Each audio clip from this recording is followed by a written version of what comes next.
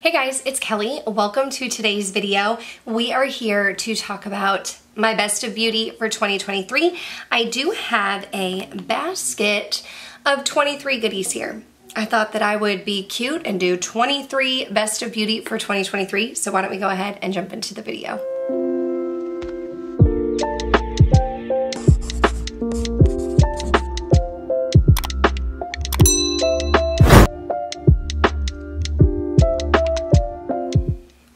Taking a look at my makeup items and picking what items to show you as my best of beauty, I wanted to keep them in this basket because I do not do my makeup at my vanity. This is in my bedroom. I do film in my bedroom, but I do have this white basket in my bathroom where I keep some of my makeup that I tend to use on a day-to-day when I'm getting ready in the morning. If you don't know, I'm an elementary school teacher. So a lot of times I just need like quick and easy, right? Like I'm not always doing a full beat or doing makeup to go out or anything like that. So I took a look at my tried and true, the makeup items that I kept in this basket that I was reaching for time and time again. And I wanted to pull out 23 of them, just, you know, 23 and 23, you know, be cute. But I also did make sure that I hit all of the makeup items that I was reaching for. You won't see eyeshadow palettes here. I am filming a video ranking all of the eyeshadow palettes that I tried in 2023. It's either already up or it's coming. I don't know which, I don't have an order.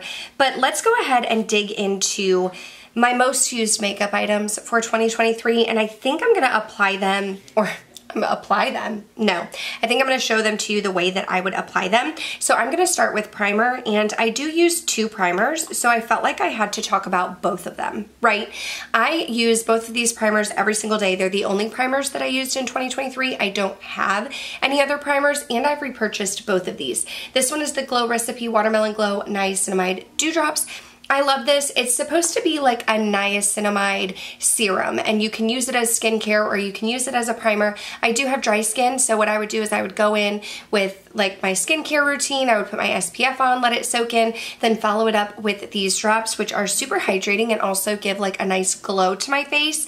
But I do have fine lines and wrinkles. I don't really struggle with like texture a ton but I do have some pores like around my nose that I kind of want to smooth out. So I do enjoy going in with my Tatcha Liquid Silk Canvas and putting it kind of right here like on the sides of my nose and my forehead lines. That's been working for me for years. I do think when I finish this one up, it's like down to here. I have repurchased it before, but I think when I use it up, I'm going to try something different. Not because I don't love it, but that's like literally been my go-to primer for like a while, like several years. So, you know, I want to switch it up. I want to try new things. But then this next product, I don't think that I would call it a best of beauty necessarily because it's a fave, but I'm putting it in the best of beauty because I've used it a ton this year. And this is the Gloric, Gloric, the Auric. I'm probably just going to keep all of my misspeaking in here the Auric Glow Lust in the shade Morganite. Now I've talked about this on my channel before. I like it well enough. I think it's a good product. I use this more so as a primer. It can be used as a liquid illuminator, but I really like a BAM in your face type of highlight. So I don't use this as that. I'll either mix it in with a foundation or I will put it on underneath foundation, which is what I've been doing. And this has been in my best of beauty because look how like look how much is in here and you take just the smallest amount so I've been trying to make myself use this product so after I go in with my primer I'll put a little bit on my fingers and just kind of put it on the high points of my face underneath foundation I feel like it's an extra step I feel like it's unnecessary. I'm not telling you to like run out and purchase it. I think it's a good product. If you like liquid illuminators, like you may like this, but it's a lot. You know what I mean? It's a lot. Then I have two foundations. I have two foundations. The first was kind of in my project pan that I've abandoned a little bit, but I wanna use it up, y'all. I want to use it up before the year is out. This is the Patrick Ta Cream Foundation and Finishing Powder Duo in the shade Light 1. I do not use the powder. I really, really like this foundation though. You can see it right here. I would just take my sponge, I would go right into the product and like put it all over my face. But now my sponge is having a hard time getting at the sides so you can see I've been digging a little bit. Like I'll take my nail and just kind of rub it on my face and then use my fingers to warm it up and go in with a sponge. I would love to use this up in 2023 if I can. but I love it. I love it. I would repurchase it. I'm not going to go out and repurchase it at this moment, but I totally would.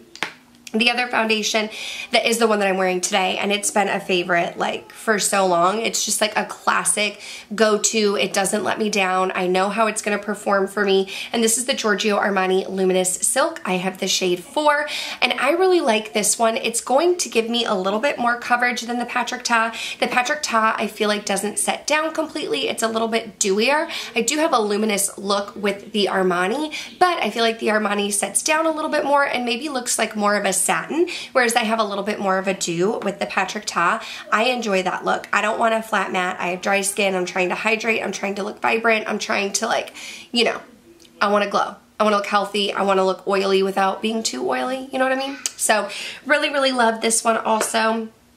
I have been using two concealers in my makeup routine and I use them both I use them both at the same time. It's these two here. So this one is the Pat McGrath. It's the Skin Fetish Sublime Perfection Concealer. This is in the shade L5. I had the shade L4 and used it up completely and thought I repurchased L4, but I repurchased L5. If I had just the shade L4, I feel like it would be fine on its own. I really enjoy this one because it's lightweight. I do have creasy under eyes. Y'all, I've had creasy under eyes forever, but now I'm like 36 or something like that. I can never remember my age. I think I'm 36. And I just have even more fine lines and wrinkles and crinkles. And again, dry skin, dryness, eczema underneath my eyes. I need the hydration. So I like this one because it gives me the coverage, but hydration, and it sets down nicely. However, L5 is a little bit deep for me. So I've been going in with the Milani Conceal and Perfect Longwear Concealer in 115 Light Nude. I like this for the same reason. It gives me maybe even a little bit more coverage than the Pat McGrath but it doesn't settle into those fine lines. It's comfortable. It's a little less hydrating than the Pat McGrath, but still hydrating. And I would use this on my own, on its own. You can see I like really have been using it, but this shade is a little bit too light. So actually the combination of the two is really good. The powder, I've been using a couple powders this year, but the one that I keep going back to was actually a Christmas gift for me last year, and it is this one right here by Givenchy. It's the Prisme Libre. This is in the shade 3, and my best friend Smegs got this for me last year for Christmas. I've been using it. I do really like this one. I just kind of dump it into the cap and mix all four of these shades together, and I'll go in either with my damp sponge or like a little powder puff and put it just right underneath my eyes, but I also like to to bring it down into my smile lines and sometimes underneath my bronzer, not necessarily because I'm trying to chisel out, but I feel like this powder gives me a little bit of like a smoothing effect. It's heavier than the Hourglass Translucent Veil, which I absolutely love but it's not quite as heavy as like the Laura Mercier translucent powder. So I like this one for my dry skin because it kind of sets down and gives a smoothing effect. So that is definitely one that I have enjoyed this year. I almost forgot. Almost forgot one of the best. I actually go in with this before I go in with foundation. This is from Sigma. This is the Sigma Color Correcting Duo in light to medium. Again, pan. We have pan in both of these. So I will actually prime my face and then I'll go in with this. I just use my finger and dip my finger into both sides and kind of press it right here on my under eyes because I do struggle with dark circles. It's hereditary. I have them no matter how much sleep I get no matter how rested I am I still have dark circles. And so I really like this because I feel like it does a great job at like canceling out those dark circles and putting it underneath the foundation. I don't feel like it's like caking or you know, it's not too much to have this and then the foundation and then the concealer. So it does a great job of like color correcting and neutralizing it so that I can go in with my foundation. For brow products, there are three products that I have been using and loving this year. There are more, but three that I wanted to put in my best of beauty, and it is these three right here. First of all, I've had this one forever. It's the Anastasia Brow Definer in the shade Caramel. No, I've like literally had this one forever. Like legit had this one tiny little piece forever.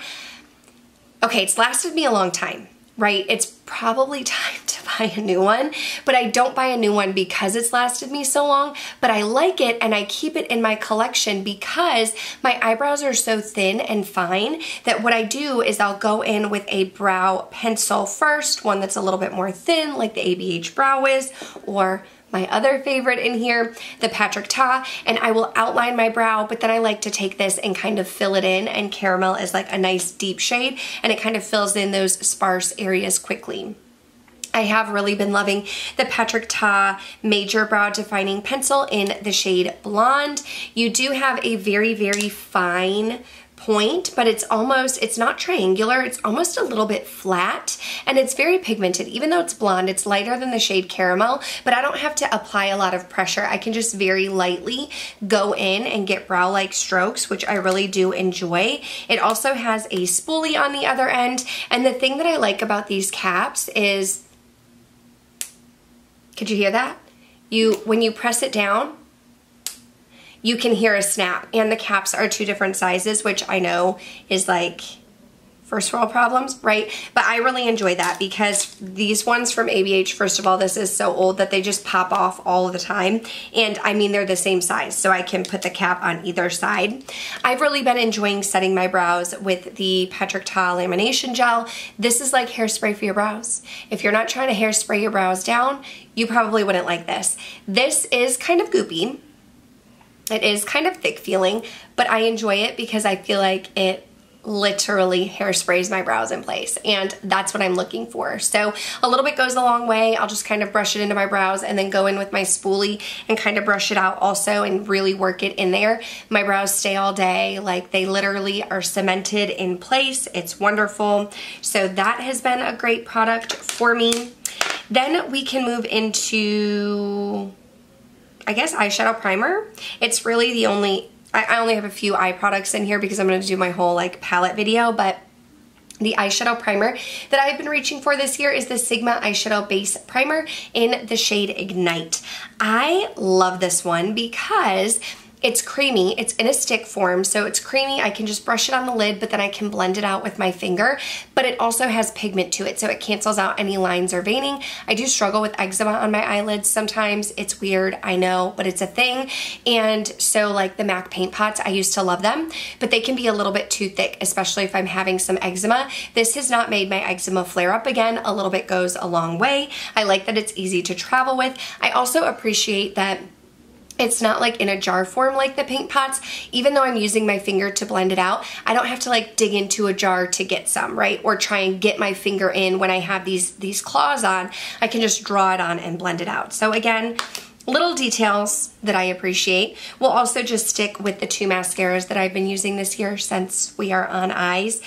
These have been my two tried and true favorites for so long for so long. It is the Lancome Monsieur Big and the Benefit Roller Lash. I like to use these together because the Lancome is for volume. It can, it can give you a spider lash. It can get a little bit too clumpy. I'm not gonna lie about that, but I like volume. So I'll go in and do two coats of this one, but then because it gets kind of like a little clumpy and I just wanna like brush it out and extend the length of my lashes a little bit, then I'll go in with my roller lash. This one's more for lengthening, so I will get a little bit of product and then just kind of comb through my lashes and brush them upward. And that combination has just been working for me for years. So I continue to use it. I continue to love it. I've tried a few other mascaras this year, but like, I keep going back to those ones. We have a few more products. They are face products. One of the bronzers that I have been using a ton, I've really been trying to rotate through my bronzers, but one that I kind of fall back to or if I know that I need it to look good, I have an event coming up, or I just, if I'm just like trying to move quickly and I want to put a bronzer on my face. I've really been reaching for this one from Charlotte Tilbury. This is the airbrush bronzer, the matte one in the shade 2 medium. I don't know if you can tell, there's like a tiny little dip here. I'm pretty light-handed with bronzer. I've seen people hit pan in this and I'm like, I want to hit pan right? Like I want to be using up my makeup. I want to hit pan. And uh, can you see the dip? Can you? Can you? My autofocus is not very good, so I can't like, I, if I do that, you're not gonna be able to see it right? I don't know if, nobody's ever asked me that. I don't know if you guys are wondering, but my autofocus is very loud. So I just keep it zoomed in on me. But that's why I don't do the whole like, you know, YouTuber where you, you kind of push it up in front of the camera because it's not gonna autofocus. But anyway, love this bronzer. I've been using it a ton. I do have a couple blushes. And the reason why I'm mentioning all three of these blushes is because these were my most used, but I feel like they were most used at different times of the year. So in the beginning of 2023, I had just gotten the new Gucci bronzer in the shade 05 Rosy Beige, and I was using this a ton. I love it. It's a beautiful mauve shade. It has more of a satin finish. It's very pigmented. It looks beautiful on my fair to light skin, and I was just reaching for it a ton. I got it during the Sephora VIB sale last year, but I loved it, right? So then I put that one away and I also had another one that I think was maybe a holiday release last year. And I went and moved over to Pat McGrath, which is probably one of like my favorite blush formula formulas, if not my actual favorite blush formula. And I have this shade in Nude Venus too. I love the Pat McGrath blushes. So I was reaching for Nude Venus 2 a lot just because it was my newest Pat McGrath blush. I have tons of her blushes. These ones are also tried and trues for me. Like if I just need something that's gonna give me a flush on my cheeks and it's gonna look look good, I reached for the Pat McGrath. But then towards the end of the, de the year, I was like, listen, I need to pull out an Old Faithful. I need to dig back into the archives over here, this shelf. I need to see what I have loved but haven't loved lately. And so that is how we got back to the Buxom. This is the Wanderlust Primer Infused Blush in the shade Seychelles. That's what I'm wearing right now. I feel like it looks like it's not much in the pan, but it's beautiful. It gives me a sheen. There are no chunks of glitter, no sparkles, but it's not flat matte. It gives me a sheen. It makes my skin look glowy, and it's just like a beautiful neutral shade that goes with anything, like literally anything. So these were definitely my most used blushes of the year in 2023. And I have a couple highlights to share. I'm going to stick with the one that has just been a trusty Old Faithful for so long, and it's my Natasha Denona Super Glow. This is in the shade Fair. Again, I don't know if you can tell. I'm trying to move it so that you can see. I have a big dip in here. This is the one that I'm wearing today. I just go back to it time and time again because it really does give me like that glow from within. I don't like sparkle. I don't like glitter. I don't want chunks, but I want to have a beaming highlight. I want to look like a vampire in Twilight where I am just glowing but glowing from within. This really does it for me. I love that shade, but there was a new favorite that snuck in here. The Natasha Denona has been my favorite for a really long time. There was a new favorite that snuck in here and it's from Sigma Beauty. And this is the Sigma highlighter in the shade Twilight. And you can just see how much I've been using it. I love this one because it's not pink, but it's not quite rose gold, but it's not champagne. It's almost like a almost like a cool toned rose gold, if that's a thing. That's kind of what this looks like. Again, it gives me a very like beaming highlight, but it blends into the skin. It doesn't give me a harsh line. And I don't know if I mentioned it before, but I do have a code with Sigma. It's KBella if you ever want to save. And I do have affiliate links if you're interested in shopping through my links. Thank you so much. You don't have to, but if you do, I do get a little bit of commission from Sigma. That's not why I'm mentioning this. You can see I do really love it, right? I do really love it. I've reached for it a ton. We're gonna end with lips. We're gonna end with lips. This combination that I am wearing right now has been my go-to. It stays in my purse. It goes to school with me. It's quick. It's easy. I don't have to think about it. And I love the way that it looks. So First up, it is my Charlotte Tilbury Iconic Nude Lip Liner. This little guy is getting down there. I really want to be able to use it up. I don't know if I'll be able to use it up in 2024. I use it with everything. Like literally this lip liner I can use with absolutely everything. But I really, really love it with the lipstick that I'm wearing right now. And it's from MAC, y'all. It is from MAC. This is the shade Blankety. Blankety is just kind of like the perfect everyday go-to pinky nude. It's a pinky nude. It's not a brown nude, but it's not a hot pink. It's a pinky nude. It's a favorite. It's comfortable. It's an amplified cream, so you have a lot of pigment with it, but it doesn't give me a glossy finish. It's easy to apply without lip liner, but I really like mixing these two together because I will take the Iconic Nude, which I feel like is a little bit of a deeper uh, lip color shade. Does that make sense? Lip color shade what am I saying? It's a little bit of a deeper shade. So I'll outline my lips and fill it in a little bit and then kind of put this on top and it's easy. It's quick, it's easy. I don't have to think about it. It's been going with me in my purse, to school, on vacation, everywhere. Okay friends, but that's it. I feel like it was kind of fast and furious, but my best of beauty for 2023. I just thought it would be fun to pick 23 products. Like there are other products that I've loved this year, but I thought that it would be fun to kind of pull out the ones that were like my go-tos that I fell back on that stayed in my bathroom. So I would love to know your thoughts down below. I would love to know what your favorite makeup products were for 2023. I want to know, like, were you guys falling back into old favorites? Like my Super Glow from Natasha Denona and the Buxom Seychelles and the Giorgio Armani, like these have been favorites. They've been in my best of beauty. They've been around for a while. Or have you been reaching for newer products? Like this Sigma highlighter is a newer product for me. This Gucci blush was a newer product for me. The Prisme Libre was a newer product for me. So I feel like this year was a really good mixture of me trying to focus on new products that I purchased, but also remembering the old products that I had in my collection. And I wanna keep that same mindset going into 2024. Like I really wanna curate my collection to have products that I'm using and that I'm loving because I think it's great when people do best of beauties and they only mention products that they tried in 2023, but I want to remind myself of just like what's worked for me, whether it was new or whether it was old. So thanks for coming to my TED Talk. That's it. That's going to do it for this video. Make sure you guys are subscribed before you go. That way I can see you in the next one. Thanks for watching. Bye.